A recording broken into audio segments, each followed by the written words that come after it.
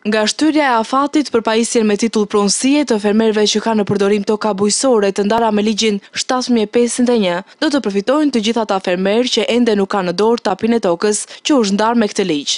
Edhe pse afati për fundimtari pranimit ishte djetori këti viti, ky proces u shty në qeshor të 2018, duke u dhe në mundësin të gjitha tyre familjeve që ka në posedim aktin e përdorimit të mund të marin tapin e tokës. Ky ri do tjetë shansi tyre i vetëm. Si pas edhe nga drejtoria e drejtori drejtoris juridike pra mbashkisë e korqës Angela Dishnica.